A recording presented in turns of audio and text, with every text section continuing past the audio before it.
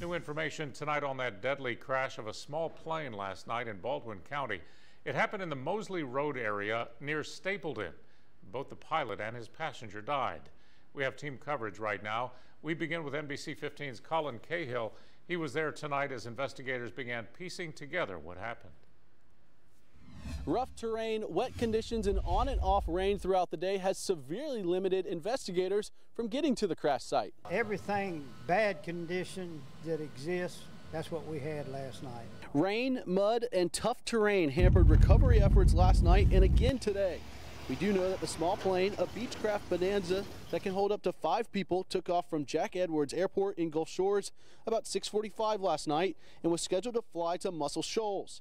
It was last seen on radar around 7:01 p.m., flying through a strong storm that moved through our area. Go quite a few miles up to the woods and down all these dirt roads and to get there back to the uh, crash site. A Coast Guard helicopter spotted the burning plane and landed near first responders to guide them to the crash site and he landed in behind that.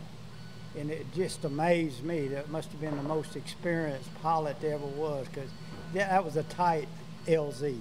It took first responders and investigators several hours on 4x4s and ATVs to reach the scene. When investigators got there, they found two people dead. One victim, 65-year-old Timothy Ray Rhodes of Florence, Alabama, was the owner of a company that managed rental properties in North Alabama. Published reports identify the second victim as Rhodes' wife, Doris. Both bodies were taken from the crash site around 1 a.m. The county coroner will conduct an autopsy tomorrow to confirm the identity of the second body using dental records. In a statement released this afternoon, the FAA says the NTSB will be taking the lead in this investigation. Reporting in Stapleton, Colin Cahill, NBC 15 News.